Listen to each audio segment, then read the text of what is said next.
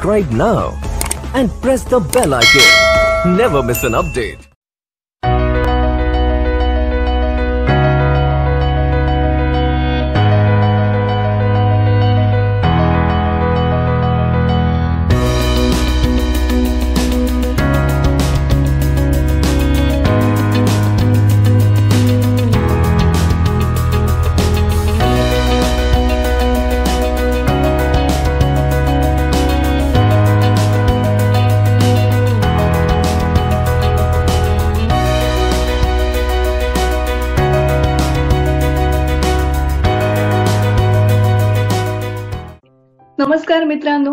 KY talks तर्फे मी मोहिनी घारपुरे देशमुख आपलं सगळ्यांचं मनपूर्वक स्वागत करते.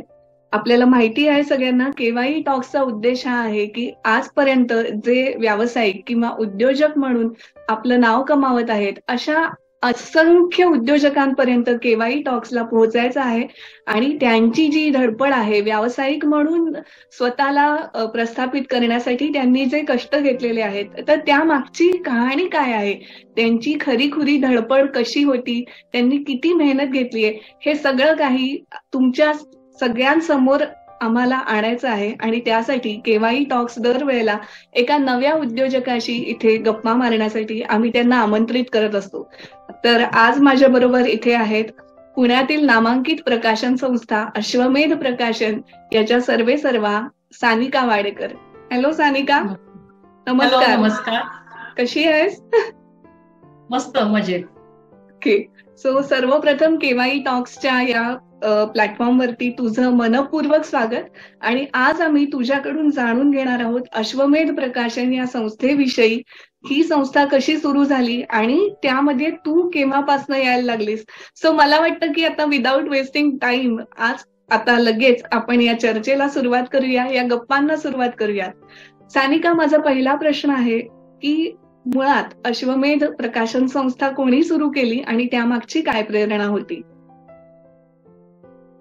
अश्वमेध प्रकाशन हे माझ्या सासऱ्यांनी श्री रमेश नरहर वाडेकर यांनी साधारण पन्नास वर्षापूर्वी सुरू केली. आणि त्याच्यामागे प्रेरणा म्हणजे ते कॉलेज पासूनच पुस्तक विक्री या व्यवसायात होते. म्हणजे ते शिकत. असताना शिक्षण घेत असताना देखील मिळवत होते. आणि त्यांनी शून्यापासून या व्यवसायाची सुरुवात केली. पुस्तक वाचनाची आवड असल्यामुळे आणि पुस्तक विक्रीमध्ये त्यांना अनुभव असल्यामुळे शिवाय त्यांनी कॉलेजमध्ये असताना एक लायब्ररी सुद्धा चालवली होती. आणि ती लायब्ररी म्हणजे त्या काळातलं जेव्हा ती कन्सेप्ट सुद्धा नव्हती तसं फिरतं वाचनालय असल्यासारखं होतं. म्हणजे हा त्यांनी त्यांच्या भावाकडेच ती लायब्ररी सुरू केली होती आणि ते घरोघरी नेऊन पुस्तकं द्यायचे. तर त्यामुळे त्यांनी अक्षरशः शून्यापासून या व्यवसायाला सुरुवात केली आहे. आणि त्याच्यानंतर माझ्या सासूबाई सौ कै सौ सुलभा रमेश वाडेकर यांची त्यांना अतिशय खंबीर आणि अतिशय सुरेख साथ मिळाली. त्या सुद्धा प्रत्येक शाळा शाळांमध्ये जाऊन जवळ पुस्तकाच्या पिशव्या उचलून पुस्तकं शाळांच्या लायब्ररीयांसाठी विकायच्या. आणि. शिवाय शाळांच्या बाहेर सुद्धा त्या एक आमच्याकडे लाकडी संदूक होती त्या पुस्तकं घेऊन बसायच्या. आणि तेव्हा माझा मिस्टर अतिशय लहान होते म्हणजे त्या ते जेमतेम एक वर्षाचे होते. त्यामुळे शेजारी त्यांना घेऊन त्यांनी पुस्तक विक्री केलेली आहे. अशा प्रकारे अतिशय कष्टाने आणि अतिशय शून्यापासून माझ्या सासऱ्यांनी आणि सासूबाईंनी अश्वमेध प्रकाशनाची. मुहूर्तमेढ ठेवलेली आहे. वा क्या बात आहे. सानिका आणि मी एक सेकंदभर त्या काळात गेले की एखाद्या शाळेच्या पुढे त्या बसल्या असतील असं घेऊन आणि माझ्या अंगावर खरोखर काटा आला. कारण की आपण या मागे किती मेहनत केवढी असेल त्यांनी केलेली आणि किती तळमळ असेल हे दोन्ही गोष्टी मला इकडे क्लिअर दिसल्या.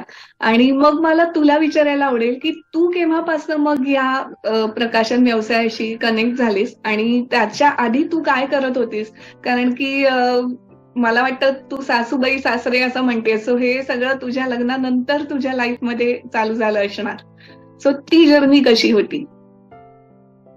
माझी जर्नी सांगायची तर माझ्या माहेरी सगळेजण म्हणजे माझे जेवढे नातेवाईक आहेत ते सगळे सरकारी नोकरीतले आहेत. त्यामुळे. आम्हाला व्यवसायामधला व्यवसायामधला अर्धा व सुद्धा माहिती नव्हता. पण मला लहानपणापासून व्यवसायाबद्दल कुतूहल होतं. लहानपणी मी एक छोटीशी लायब्ररी चालवून बघितली होती माझी सायकल भाड्याने बघितली. असं अगदी छोटीशी सुरुवात मी केली होती. तर ते कुतूहल माझ्या मनात होतं. व्यवसाय करण्याबद्दल माझ्या मनात ओढ होती. पण मी सुद्धा नोकरीच करत होते. माझं ग्रॅज्युएशन आणि माझं टेक्निकल थोडंसं एज्युकेशन पूर्ण झालं आणि मी चांगल्या नोकरीमध्ये जॉईन झाले होते. लग्नानंतर सुद्धा मी नोकरी करत होते. फक्त एकच असं झालं की मला एकतर वाचनाची प्रचंड आवड होती. माझ्या मिस्टरांनी तोपर्यंत प्रकाशन व्यवसाय पुण्यामध्ये सुरू केलेला होता. आणि आमचं पुण्यात ऑफिस आहे. सदाशिव पेठेत खुन्या मुरलीधर मंदिराजवळ आमचं ऑफिस आहे. तिथं आमचा व्यवसाय सुरू होता. त्यामुळे लग्नानंतर मला प्रूफ रिडिंगचा मी एक कोर्स केला एक वर्षाचा आणि लग्नानंतर लागलीच मी नोकरी करत असताना प्रकाशन व्यवसायात काम करायला सुरुवात केली. आणि ते मी प्रचंड एन्जॉय करत होते. म्हणजे नोकरी सुद्धा मी एन्जॉय करत होते. पण मी प्रकाशन व्यवसायातलं काम सुद्धा एन्जॉय करत होते. फक्त त्यावेळेला असं होतं की माझ्यावर फारशा जबाबदाऱ्या इतर प्रापंचिक जबाबदाऱ्या ज्या आपण म्हणतो त्या नव्हत्या. त्यामुळे नोकरी आणि व्यवसाय हे दोन्ही गोष्टी मी करू शकले. आणि परत एकदा मी त्याचं क्रेडिट पण माझ्या सासूबाईंना देईन. एकतर त्यांच्याकडे सगळं सणवार वगैरे असायचे त्यामुळे मला काही बघावं लागलं नाही घरामध्ये. आणि नंतर माझा मुलगा झाल्यानंतर सुद्धा वेळोवेळी त्या मला मदत करायला यायच्या मुलाला सांभाळायला यायच्या. हे किती व्यवसाय हो त्यामुळे मी लग्नानंतर जवळजवळ अकरा बारा वर्ष व्यवसाय आणि नोकरी असं दोन्ही सुरू ठेवलेलं होतं. बापरे जवळजवळ बारा वर्ष म्हणू शकतो म्हणजे ऑलमोस्ट हो, हो. आणि नोकरीचं हो. तुझं एकदम क्षेत्र वेगळं होतं मला वाटतं ना? ते सगळं टेक्निकल आणि असं तुझं क्षेत्र होतं बरोबर ना? बरोबर आहे. खरं तर मी स्टेनोग्राफी केलेली आहे आणि स्टेनोग्राफी या पोस्ट गव्हर्नमेंट ऑफिसमध्ये असतात. त्याप्रमाणे मला सरकारी नोकरीच मिळालेली होती. आणि पुण्यात राहून म्हणजे कोल्हापूरची एक मुलगी पुण्यात येऊन सरकारी नोकरी मिळवणं हे एक अचिव्हमेंट असल्यासारखं मला झालं होतं. आणि माझ्या मिस्टरांना पण त्याचा सार्थ अभिमान होता. त्यामुळे त्यांचं त्यांचं असं म्हणणं होतं की मी नोकरी सोडू नये. आणि म्हणून ती बारा वर्ष नोकरी केली गेली. जर ती तुझ्या कॅपेबिलिटीवर तुझ्या कर्तृत्वावर जर तुला नोकरी मिळालेली आहे तर ती तू कर असं त्यांचं म्हणणं होतं. आणि शिवाय घरचा जो माझा व्यवसाय होता त्याच्यामध्ये पुस्तकांचं डीटीपी आणि प्रूफ रिडिंग हे मी घरून करत होते. असं मी दोन्ही जवळजवळ लग्नानंतर बारा वर्ष सुरू ठेवल्यामुळे माझं ऑफिस जोपर्यंत लांब शिफ्ट झालं नाही घरापासून लांब तोपर्यंत मी ती नोकरी केली. बाय गॉड पण मग व्यवसायात यावं ही प्रेरणा म्हणजे तुला लग्नानंतर आधीपासूनच वाटायचं का की आपलंच घरचं प्रकाशन आहे ही संस्था आहे तर आपण सुद्धा यात कॉन्ट्रीब्युट केलं पाहिजे. हे तुला वाटायचं की तुला कोणी त्यासाठी मोटिवेट केलं कोणी करत होतं तुझे मिस्टर म्हणा की तू हे पण काम करून बघ पुस्तक प्रकाशन कारण हा एक पूर्ण वेगळा सेगमेंट आहे. आणि त्यामध्ये एक वेगळ्या प्रकारचं कौशल्य स्वतःमध्ये असावी लागतात. आणि खूप म्हणजे स्वतःला एक वेगळ्या पद्धतीने प्रेझेंट करावं लागतं बेसिकली सो असं तुला स्वतःला मोल्ड पण करावं लागलं असेल ना दोन्ही मध्ये मग तू कसं केलंस? मला लग्नाच्या आधीपासूनच वाचनाची प्रचंड आवड होती. आणि कुठेतरी मी मनातशी ठरवलेलं होतं की जर नवरा व्यावसायिक असेल आपल्या नशिबात असेल व्यावसायिक व्यवसाय करणारा नवरा तर आपण त्याला प्राधान्य द्यायचं किंवा मला ते आवडणार होतं. आणि माझ्या नशिबानं बरोबर. आणि माझ्या नशिबानं व्यावसायिक नवरा मिळाला. माझं लग्न ठरवून केलेलं लग्न आहे. विवाह संस्थेत नाव नोंदवून केलेलं लग्न आहे. त्यामुळे जेव्हा मी मंगेश वाडेकरांची माहिती वाचली की यांचा प्रकाशन व्यवसाय आहे आणि पुस्तक विक्रीचं डोंबिवलीमध्ये दुकान आहे आणि सदाशिव पुस्तक प्रकाशनाचा व्यवसाय तर तेव्हाच मला ते खूप अट्रॅक्टिव्ह वाटलं कारण त्या निमित्तानं मला वेगवेगळे जे लेखक असतात त्यांना भेटायला मिळेल. मला त्या वातावरणात राहता येईल. कारण पुस्तक प्रकाशन हा अतिशय नोबल बिझनेस आहे म्हटलं तरी चालेल. त्यामुळे म्हणून मला त्याच्याबद्दल प्रचंड आकर्षण वाटलं आणि आमची पहिली मिटिंग झाली. पुढचे सगळे योग जुळून आले. आणि मी जेव्हा लग्न करून सासरी आले तेव्हा माझ्या सासरच्या लोकांना अजिबात माहिती नव्हतं की मी डीटीपी किंवा प्रूफ रिडिंग करू शकते किंवा मला त्या गोष्टींची इतकी आवड आहे हे. त्यांना अजिबात माहिती नव्हतं. त्यांना असंच वाटायचं की ज्या अर्थी ही नोकरी करते आणि वेल सेट नोकरी आहे तर ही नोकरीच करत राहील असं त्यांना वाटत होतं. पण जेव्हा मी होऊन त्या कामामध्ये इंटरेस्ट दाखवला मी सांगितलं की मला हे करायचंय आणि मी ऑफिसमध्ये येऊन हे काम करेन किंवा घरून करेन तर तेव्हा मी ऑफिसमध्ये जाऊन हे काम करायला सुरुवात केली आणि माझ्या मिस्टरांच्या लक्षात आलं की हे काम मी खूप चांगल्या पद्धतीनं करते आणि खूप मन लावून करते. बरोबर. त्याचप्रमाणे मी जशी ऑफिसमध्ये जायला लागले तसं मला निरंजन घाटे मोहन आपटे सर सुधाकर भालेराव सर क्षीर गजानन क्षीरसागर हे आमचे अगदी अतिशय चांगले लेखक आहेत ज्यांनी आमचं संपूर्ण शेरलॉक होम्स नावाचं पुस्तक, तयार केलेलं आहे. त्याचे लेखक अनुवादक ह्या सगळ्यांच्या जेव्हा माझ्या भेटीगाठी व्हायला लागल्या सगळ्या लेखकांशी तेव्हा मला ते ऑफिस सोडवून जायचं. म्हणजे मला असं वाटायचं की आपण दिवसभर जर इथे असलो तर किती छान होईल. त्याच बरोबर आमची वेगवेगळ्या ठिकाणी प्रदर्शन असायची. ज्या ठिकाणी शक्य आहे त्या ठिकाणी मी प्रदर्शनांना पण जायची. तर जेव्हा हे पुस्तक प्रकाशन हे विश्वच असं आहे की तुमच्या आजूबाजूला सगळी छान छान माणसं असतात. सगळी बरोबर बोललीस. आणि अतिशय पॉलिश्ड माणसं असतात आणि त्यांच्या चर्चा म्हणा किंवा त्यांचे विषय म्हणा हे तुम्हाला तुमची खूप प्रगती करतात. तुम्हाला वेगवेगळे विचार करायला वेगवेगळे अँगल दाखवतात किंवा जगामध्ये काय चाललंय घडामोडी या बऱ्याच गोष्टी कळतात प्रकाशनामध्ये.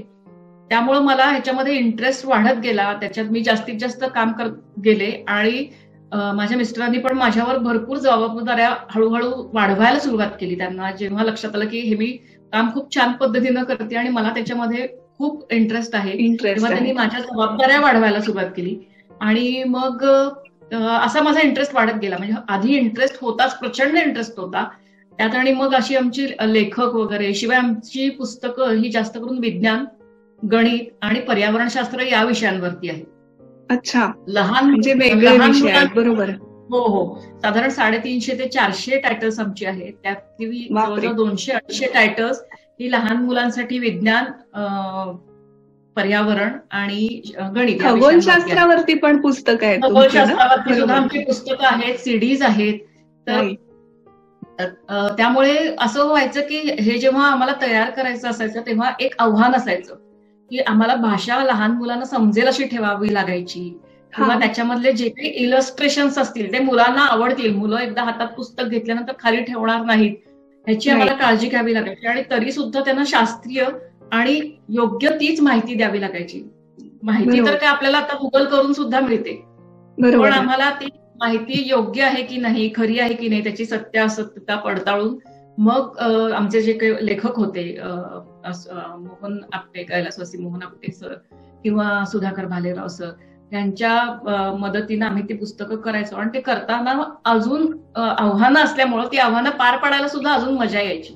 लहान मुलांसाठी काम करताना मजा म्हणजे इथे एक मला असं वाटतं सानिका की माझा पुढचा प्रश्न खरं तर तुला हाच होता की एकीकडे आपल्याला म्हणजे आपण अशी एक वेगळी वाट चोखायला लागतो आणि त्यानंतर त्यात जेव्हा समाधान पण मिळायला लागतं तर तुझ्यासाठी मला वाटतं की चॅलेंजिंग चॅलेंज स्वीकारणं आव्हान घेणं ही एक तुझी पर्सनॅलिटी मला असं वाटतंय. आणि बहुतेक उद्योजकांमध्ये हा गुण असतोच. त्यानंतरच ते आलेल्या परिस्थितीला सामोरं जाऊ शकतात. सो जेव्हा जसं तू हे म्हटलीस तसं आणखीन तुला या व्यवसायातल्या कुठल्या अशा गोष्टी आहेत की ज्याने तुला समाधान मिळतं? बरोबर. अजून अशा गोष्टी आहेत की आमची अक्षरशः गावोगावी ग्रंथ प्रदर्शनं असायची. आणि मला तोपर्यंत असं वाटत होतं की आता पुस्तक वाचन कमी होत चाललंय किंवा मला तोपर्यंत असं वाटायचं जोपर्यंत मी या प्रदर्शनांना प्रत्यक्ष मी स्वतः जाऊन काम केलं नाही तोपर्यंत मला असं वाटायचं की मुलांना गणित विज्ञान आणि पर्यावरणशास्त्र याच्यामध्ये काय रुची असेल काय मुलांना आवडत. असेल पण जेव्हा आम्ही अशा प्रदर्शनांना जायचो तेव्हा आम्ही आमच्या लॅपटॉपवरती सीडीज लावायचो आमच्या. मग ते एकविसावं शतक असो किंवा मंगळ पृथ्वी किंवा त्याचेच इंग्लिश व्हर्जन पण आमच्या सीडीजचे आहेत. ह्या सीडीज आम्ही लावायचो आणि त्याचा स्पीकर लाऊड स्पीकर वरती आवाज सगळीकडे ऐकू यायचा आणि खेड्यापाड्यातले विद्यार्थी जे युनिफॉर्ममध्ये आलेले आहेत प्रदर्शनाला ते धावत धावत आमच्या स्टॉलकडे पळत यायचे. आणि मोहन. आपटे सरांचा आवाज आहे का ही एकविसावे शतक ही सीडी आहे का? पृथ्वीवरती सीडी आहे का? पुस्तकं कोणती आहेत? कथाई चुंबकाची आहे का? म्हणजे त्या मुलांना इतकं नॉलेज होतं की त्यानं मी अक्षरशः चकित झाले. आणि खेड्या खेड्यातल्या मुलांपर्यंत आम्ही पोहोचू शकलो ह्याचं मला समाधान होतं.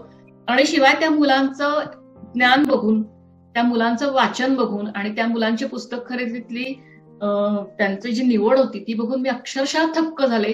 आणि तेव्हा मला खूप समाधान वाटलं की आपण जे काही करतोय ते अतिशय छान काम करतोय आणि आपण. खेड्यापाड्यातल्या मुलांपर्यंत पोहोचतो आहोत बरोबर मला सर्वात अतिशय समाधानकारक समाधान आणि. त्यातूनही सगळ्यात अवघड विषय घेऊन अश्वमेध प्रकाशन पोहोचतंय हे किती महत्वाचं आहे कारण की गणित मुलांना अजिबात आवडत नाही खगोलशास्त्र म्हणजे इंटरेस्टिंग वाटलं तरी पुढे कसं जायचं हा प्रश्न असतो की मला कसं कळणार एवढं मोठं अफाट विश्व आहे. असे अनेक अवघड विषय तुम्ही पुस्तकांच्या माध्यमातून सिरीजच्या माध्यमातून आणतायत आणि मला खूप आवडतीये सानिका तुझी जर्नी ऐकायला सुद्धा.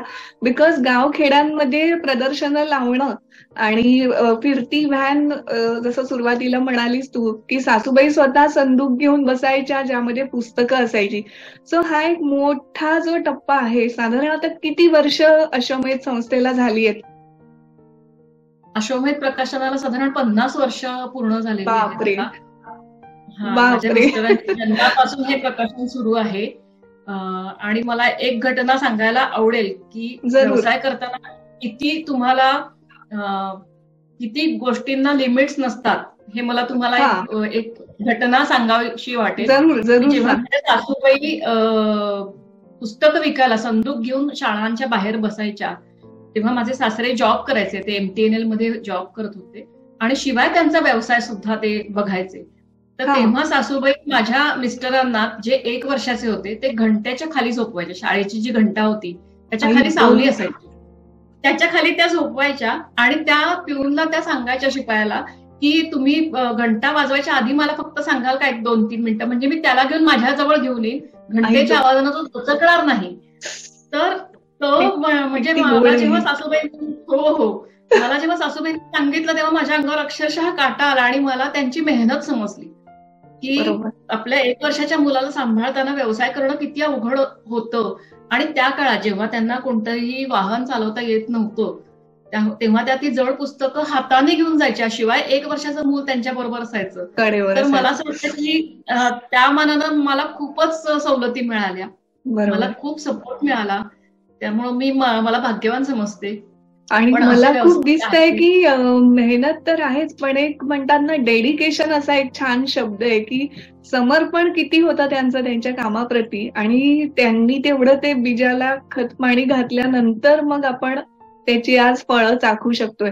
So hats off to her actually त्यांचे कष्ट पोहोचलेत म्हणजे दिसत आहेत आणि मला खूप आनंद आहे की मी तुमच्यापर्यंत पोहोचले केवाई टॉक्सच्या या माध्यमातून. सो दॅट की हा सगळा प्रवास हा आपण कधी कोणाला स्वतःहून सांगायला जात नाही हा अनुभवलेला असतो त्या त्या उद्योजकांनी. पण केवाई टॉक्सच्या माध्यमातून आम्ही असंख्य उद्योजकांच्या अशा रंजक खऱ्या खुऱ्या कहाण्या तुमच्यापर्यंत आणतो आहोत मित्रांनो. आणि मला माहिती आहे की जसं तुझ्या सासूबाईंना अडचणी आल्या हा व्यवसाय करताना तशा तुला स्वतःला सुद्धा अनेक अडचणी आल्या असतील अनेक अडथळ्यांची शर्यत तू स्वतः पण पार केली असेल. तर त्या अडथळ्यांविषयी थोडस बोलशील सानिका? तू कसं त्यावरती मात केली आणि मुळात काय काय अडथळे होते? जेव्हा आम्हाला सगळ्या महाराष्ट्रभर महाराष्ट्रामध्ये जेवढ्या मराठी शाळा आहेत त्या शाळांपर्यंत जेव्हा आम्हाला पोहोचायचं असतं तेव्हा पुस्तक निर्मितीचं काम पण त्याच तेवढ्याच मोठ्या प्रमाणात असायचं. आणि. ते इतकं टाइम बॉन्डिंग असायचं की शाळा चे जे काही प्रदर्शन असतात त्यांचे ठराविक दिवस असायचे. त्यामुळे आम्हाला पुस्तक निर्म- निर्मिती करायला काही वेळेला किंवा पुस्तकाचं पॅकिंग वगैरे करायला गोडाऊन्स घ्यावे लागायचे. जेव्हा माझा मुलगा अतिशय छोटा होता आणि. तेव्हा प्रत्येक आईला जसं वाटतं की मला माझ्या मुलाला सर्वात उत्तम तेच द्यायचं आहे आणि आपण. या मुलांना काय देऊ शकतो की चांगलं जेवण चांगलं त्यांना राहाय संस्कार देऊ शकतो. त्यांना आपण जवळ- जवळ बसून पुस्तकं वाचवून दाखवू शकतो. ह्याच गोष्टी असतात. तर म्हणजे आपण थोडक्यात मुलांना वेळ द्यावा असं आपल्याला तेव्हा वाटत असतं. तर तेव्हा माझ्या मुलगा लहान असताना आम्ही त्याला सांगायचो की शाळेतून जेव्हा तू घरी येशील तेव्हा घरी न येता या गोडाऊन मध्ये यायचा आम्ही जिथे भाड्याने गोडाऊन घेतलेलं असायचं तिथे माझा मुलगा यायचा. कारण मी असं प्राधान्य दिलं की तो कुणीतरी मावशी ठेवून त्यांनी त्याला सांभाळण्यापेक्षा कारण तोपर्यंत माझ्या सासूबाई गेलेल्या होत्या. त्यामुळे माझ्या मुलगा कुणा- कुणाच्या तरी घरी किंवा पाळणा घरात ठेवण्यापेक्षा तो सुद्धा आमचा सगळे कष्ट बघेल तो सुद्धा पॅकिंग पुस्तकाचं कसं असतं कोणती कोणती पुस्तकं असतात हे बघेल. आणि त्या निमित्तानं आम्ही पण त्याच्या सहवासात राहू असं करून आम्ही हळूहळू हा व्यवसाय पुढे नेला. आणि. ह्याचं क्रेडिट मी माझ्या मिस्टरांना पण देईन की म्हणजे मला अगदी मुद्दाम उल्लेख करावा असं वाटेल की बऱ्याच वेळेला मराठी कुटुंबांमध्ये आधीच्या पिढीचा व्यवसाय पुढे नेला जात नाही. म्हणजे पुढची. पिढी ही एक म्हणते की मी नोकरी करेन पण बाबा मी तुमच्या व्यवसायात येणार नाही. हो. पण माझ्या मिस्टरांनी तसं विचार न करता वडिलांचा व्यवसाय नुसता पुढे नेला नाही आणि तर तो वाढवला सुद्धा. आणि तो. वेगळ्या वेगळ्या म्हणजे वेगळ्या वेगळ्या पातळ्यांवरती सुद्धा नेला. म्हणजे सिडीज तयार केल्या पुस्तकांबरोबरच. सिडीज. सुद्धा तयार केल्या. सोशल मीडियाचा सुद्धा आधार घेतला जाहिरातींसाठी. तर मला हे खूप महत्वाचं वाटतं किंवा मला असं वाटतं की सगळ्या मराठी लोकांनी हे पण शिकलं पाहिजे की आपला जो वडिलोपार्जित व्यवसाय आहे तर असं न म्हणता की त- चल तुला काय तुझ्या आईबाबांनी सगळं करून ठेवलेलं आहे. असं न म्हणता ती एक ते पण एक आव्हान म्हणून आपण ऍक्सेप्ट केलं पाहिजे की मला हा वडिलांचा व्यवसाय फक्त पुढे न्यायचा नाहीये तर मला तो वाढवायचा. देखील आहे. छान खूप छान बोलतेस सानिका तू आणि मला खरंच आय अप्रिशिएट की तुझ्या या सांगण्यातून असंख्य मुलं नवा विचार करतील. आणि कदाचित जसं तू आता म्हटलीस की तुझ्या मुलाला तू तिथे घेऊन जायचीस तर हे जे संस्कार असतात की तो जर ही धडपड पाहिल तर कदाचित मोठा झाल्यावर त्याचं चॉईस पण असेल की मी सगळं शिकून आणखीन आपला व्यवसाय मोठा करतो. असं कदाचित तो त्याच्यात आणखीन काहीतरी इनोव्हेशन आणेल नवं काहीतरी करेल. म्हणजे एका घरात एका व्यवसायांवरती पिढ्यानपिढ्या सुद्धा वाढतात किंवा तू म्हणतेस तसं दुसरं सुद्धा चित्र असतं. की कोणा म्हणजे त्यांना नावं ठेवून की तुम्ही करा ते सगळं पण मला काही इंटरेस्ट नाहीये. ठीक आहे हरकत नाही ज्याचा त्याचा मुद्दा असतो. सानिका आपण मुलाखतीच्या अशा टप्प्यावर बोलबोलता येऊन पोहोचलो आहोत. इथे मला सगळ्या प्रेक्षकांना तुझी एक वेगळी ओळख सुद्धा सांगायची आहे. ती म्हणजे तुला फेसबुक आणि सोशल मीडियावरती किती फॉलो केलं जातं? हे आज मला ह्या प्लॅटफॉर्मवरून सगळ्यांपर्यंत पोहोचवायला आवडेल. मित्रांनो पुण्यात आपल्या सानिका वाडेकर आणि मंगेश वाडेकर तर हे दोघेही जे दंपती आहेत त्या दोघां पण दोघांनाही सोशल मीडियाच्या माध्यमातूनही असंख्य लोक फॉलो करत आहेत. आणि सानिकानी छोटे छोटे जे क्रिस्पी असं शैलीत तिचं जे सोशल मीडियाचे पोस्ट असतात त्या एवढ्या वाचल्या जातात आणि लोकांना इतक्या आवडतात. सो सानिका तू स्वतः एक लेखिका म्हणून पण स्वतःला बघतेस का? हो मी नक्कीच. मी लेखिका म्हणून स्वतःला बघते. माझ्या दिवाळी अंकांमध्ये वगैरे कथा येतात. शिवाय मला या प्लॅटफॉर्मवर सांगायला आवडेल की मी स्वतः लहान मुलांसाठी चार पुस्तकं तयार केलेली आहेत जी दोन भाषांमध्ये होती आणि ते काम. आम्हाला असं आव्हानात्मक हो आणि ते काम आम्हाला असं आव्हानात्मक होतं की जेमतेम आठ पानांमध्ये मुलांना विज्ञान गणित किंवा पर्यावरण या विषयांची माहिती द्यायची होती. त्याच्यामध्ये मराठीमध्ये एक वाक्य आणि त्याचंच इंग्लिशमध्ये ट्रान्सलेशन असं ते पुस्तक होतं त्याला बायलिंग्युअल असं म्हणतात. आणि. ह्याच्यामध्ये मराठी शब्दांमध्ये मराठी वाक्यामध्ये एकही जोडाक्षर आलं नाही पाहिजे. सोपे शब्द पाहिजे तीन ते चार अक्षरांचे. आणि त्याचप्रमाणे इंग्लिशमध्ये सुद्धा तीन ते चार अल्फाबेटचे शब्द हवेत आणि तेही सोपे. मुलांना सहज समजतील असे. आणि असं करून पाच वर्षात पाच ते सहा वर्षाच्या मुलांना विज्ञान गणित आणि पर्यावरण या विषयांची माहिती द्यायची गोष्टी स्वरूपात. की ज्याच्यामध्ये भरपूर इलस्ट्रेशन असेल. आणि ती पुस्तकं सुद्धा आर्ट आर्ट पेपरवरती मुलांना अट्रॅक्टिव्ह वाटतील अशी किंवा मुलं आडवी पडून सुद्धा ती पुस्तकं बघू शकतील. अशा आकारांची ती पुस्तकं करायची असं एक आव्हान होतं. ते आव्हान म्हणजे मला असं वाटतं की जी ती माझी चार पुस्तकं सिलेक्ट झाली किंवा जी माझी चार पुस्तकं प्रकाशित झाली ते मला मी धन्यवाद म्हणेन किंवा म्हणजे माझे आभार आहेत नशिबा नशिबाला किंवा देवाला की. मला ही संधी मिळाली ही पुस्तकं करायची आणि अशी माझी चार पुस्तकं आहेत. तर हे माझं लिखाणातलं हे या प्रकारचं लिखाण मी केलेलं आहे. सुरुवात झाली असं. म्हणू शकतो आपण बरोबर आहे. बरोबर की. एक वेगळी ओळख आणखीन तुझी होऊ शकते कदाचित तू त्यासाठी पण वेळ दिलास तर.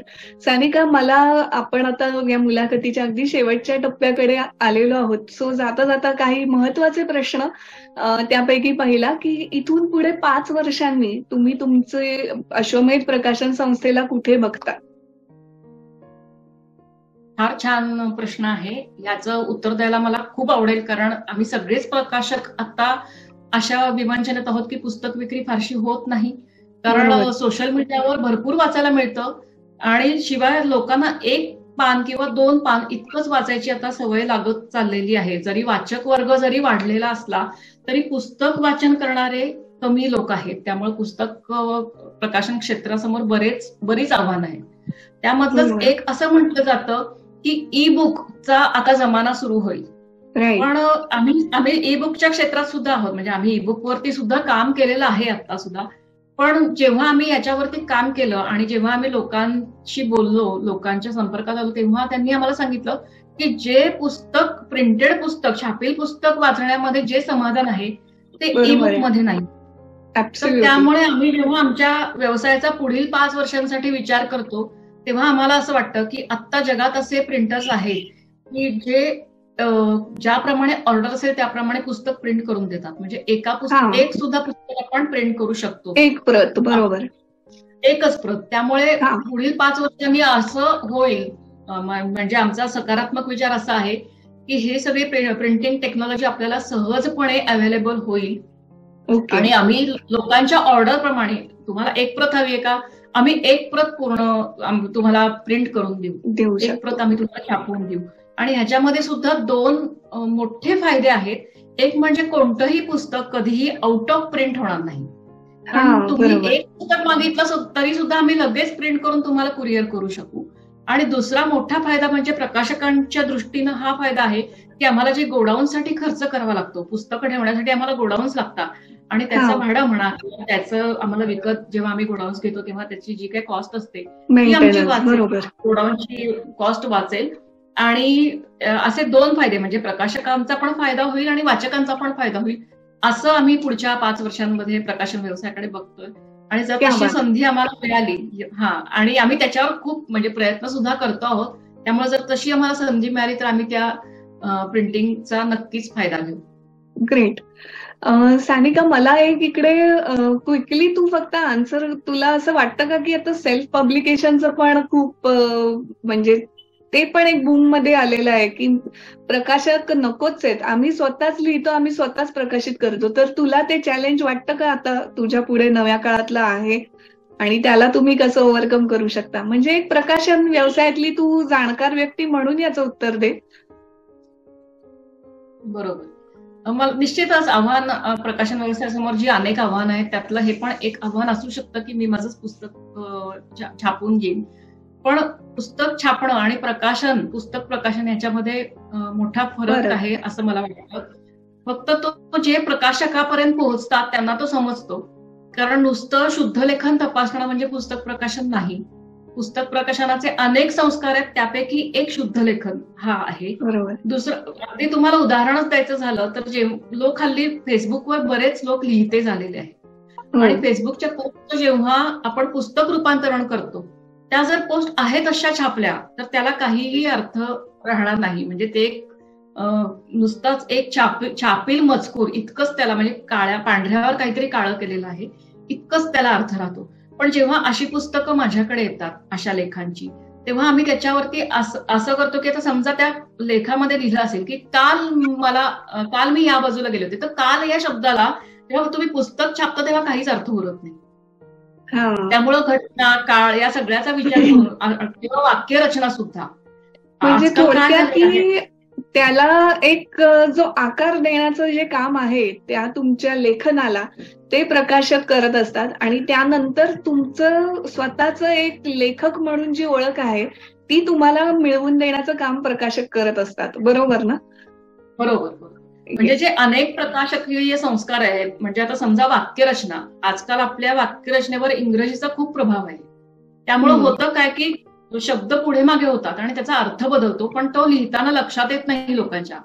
पण जेव्हा आम्ही. ते प्रकाशन पुस्तक प्रकाशन करायचं म्हणून त्याच उद्देशाने आम्ही जेव्हा ते पुस्तक प्रूफरीड करत असतो तेव्हा आमच्या ते लक्षात येतं आणि आम्ही ते वाक्यरचना बदलतो आणि योग्य ती करतो.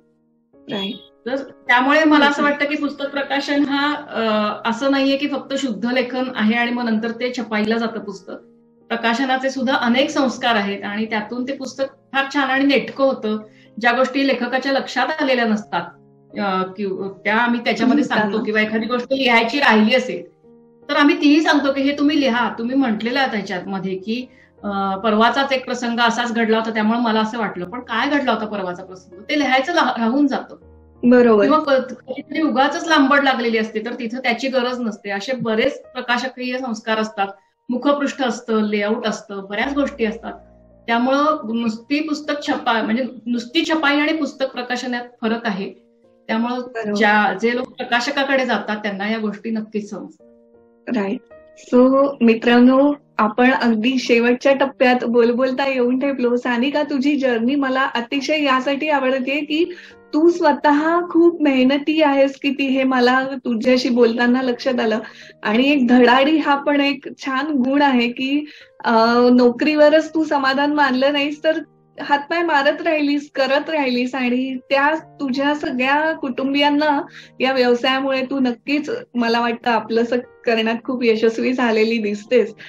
सानिका जसं मी आता म्हणाले तसं तुला आणखीन काय काय या व्यवसायाने दिलं हे पण मला तुझ्याकडून जाणून घ्यायला आवडेल. तुझ्या व्यक्तिमत्वात काय काय बदल झाले किंवा काय तुला मिळालं यातून? मला असं वाटतं की माणसाला सगळ्यात जास्त आवडतं असतं त्याचं स्वातंत्र्य. आणि नोकरी करताना तुम्हाला निर्णय घेण्याचं स्वातंत्र्य नसतं. नोकरी करताना तुम्हाला घेतलेल्या निर्णयांवरती अंमलबजावणी करायची असते. अर्थात त्याचा एक पॉझिटिव्ह पॉइंट आपण असा म्हणू शकतो की त्याच्यामुळे तुमच्यावर जबाबदाऱ्या येत नाही. पण मनुष्य स्वभाव असा आहे की तुम्हाला ती आव्हानं आवडतात. तुम्हाला जबाबदाऱ्या घ्यायला आवडतात आणि जबाबदाऱ्या पार पाडायला सुद्धा आवडतात. जे मला व्यवसायात करायला मिळालं. व्यवसायात मला माझे निर्णय घेता आले आणि त्या निर्णयांची पूर्ण जबाबदारी मी घ्यायला शिकले. मग ते जबाब त्याचे परिणाम वाईट असोत किंवा चांगले असोत माझ्या मनाने एकदा ठरवलं की ह्याची जबाबदारी माझी आहे की आपण ती ती घेतो. ही जबाबदारी घेण्याची सवय मला व्यवसायामुळे लागली. दुसरी गोष्ट म्हणजे नोकरी करताना तुम्हाला कोणा समाजाभिमुख असायची गरज नाही राहत. म्हणजे माणसांची तुम्हाला गरज असते असं नाही. तुम्हाला काम दिलेलं असतं तुम्हाला महिन्याच्या महिन्याला पगार मिळणार असतो. ती एक स्टॅबिलिटी असते. व्यवसायामध्ये तसं होत नाही. तुम्हाला जास्तीत जास्त लोकांशी संपर्क ठेवावा लागतो. तुमचं वक्तृत्व चांगलं लागतं. तुम्हाला चांगलं बोलावं लागतं. हो, तर ही गोष्ट मी व्यवसायामध्ये शिकले. लोकांशी बोलायचं कसं किंवा जनसंपर्क कसा ठेवायचा किंवा जेव्हा आमची आता प्रदर्शनं अक्षरशः फार कमी होतात. कारण प्रदर्शनांचा खर्च जो असतो तो प्रकाशकांना परवडत नाही. त्यामुळे प्रदर्शन होत नाही. तर प्रदर्शन नाही येत ना. मग दुसरा काय मला मार्ग मिळतोय? हा मार्ग आम्ही शोधतो. मग आता सोशल मीडिया मला मिळालेला आहे. तर फेसबुक म्हणा इन्स्टा म्हणा युट्यूब म्हणा याच्या ह्याच्या माध्यमातून लोकांपर्यंत आपल्याला पोहोचायचंच आहे. ही जेव्हा आपल्या मनात ठाम इच्छा असते तेव्हा आपण त्या दृष्टीने धडपड करतो. ही जी धडपड व्यावसायिकाला करावी लागते ती नोकरीत करायचं समाधान तुम्हाला मिळत नाही. आणि तुम्ही जे काही मिळवता व्यवसायात ते शंभर टक्के तुमचं कष्टाचं आणि बुद्धिमत्तेचं फळ असतं त्याचं समाधान अगदी औरच आहे. म्हणजे ते तुम्हाला नोकरीमध्ये मिळतच नाही असं मला वाटतं. त्यामुळे व्यवसाय आणि थोडी रिस्क असते हे मला मान्य आहे की जी रिस्क नोकरीमध्ये ही नाहीये महिन्याच्या महिन्याला पगार जमा होतो व्यवसायामध्ये अनिश्चितता आहे हे मला मान्य आहे. पण तरी सुद्धा मला व्यवसाय करायला अधिक आवडतं. सो सानिका माझा शेवटचा प्रश्न तुला आता आहे. या सगळ्या तुझ्या टप्प्यानंतर ह्या सगळ्या प्रवासानंतर तुला जे नव्या दमाचे व्यावसायिक किंवा उद्योजक आज तयार होत आहेत तर त्यांना तू काय सांगशील? तुझे मोलाचे बोल त्यांच्यासाठी काय आहेत? मी सगळ्या नव उद्योजकांना असं सांगेन की नवीन पिढी आहात तुम्ही. तर नवीन नवीन तंत्रज्ञानाची कास जरूर धरा. पण सचोटीने व्यवसाय करा सचोटीने आणि प्रामाणिकपणे व्यवसाय करणं फार महत्वाचं आहे. व्यवसायावर प्रेम करा आणि सामाजिक बांधिलकी जपा हे मी नव उद्योजकांना सांगेन.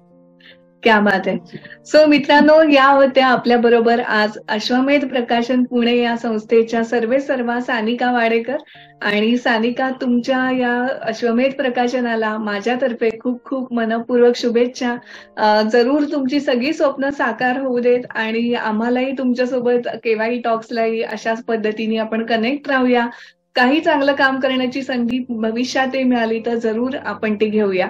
मित्रांनो सानिका वाडेकरांप्रमाणेच तुम्हीही जर स्वतः उद्योजक असाल व्यावसायिक असाल आणि तुम्हालाही तुमची जर्नी तुमचा जो प्रवास आहे तो असंख्य लोकांपर्यंत पोहोचवायचा असेल तर केवाई टॉक्सच्या प्लॅटफॉर्मवर जरूर या. त्यासाठी तुम्ही केवाई टॉक्सला संपर्क करू शकता. आमचा संपर्कासाठीचा ईमेल या व्हिडिओच्या डिस्क्रिप्शन बॉक्समध्ये आम्ही देतो आहोत. जरूर आमच्यापर्यंत पोहोचा किंवा तुम्ही कमेंट बॉक्समध्ये कमेंट करून सुद्धा सांगू शकता सो दॅट टीम केवाईचे तुमच्यापर्यंत स्वतःच पोहोचेल. सो ऑन दिस नोट आपली सगळ्यांची रजा घेते आणि थांबते इथे. सानिका खूप खूप आभार. थँक्यू सो मच धन्यवाद मोहिनी. धन्यवाद केवाई टॉक्स. थँक्यू